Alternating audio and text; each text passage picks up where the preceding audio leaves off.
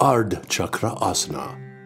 While doing this asana, the posture of your body is like a half chakra or like a half wheel posture. To do this asana, first stand in a straight position and place both your hands on the waist to give it support. Take care that all your fingers are joined together, which then will give proper support to your waist. Now, take a deep breath in and slowly bend backwards from your lumbar region. Bend your head backwards to the point till it stretches your neck muscles. Breathe in and out normally.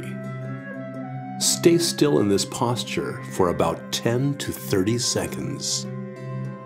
Ardha Chakra Asana makes your spine flexible. It strengthens your spinal nerves. This asana improves your ability to breathe. It also reduces pain caused by cervical spondylitis.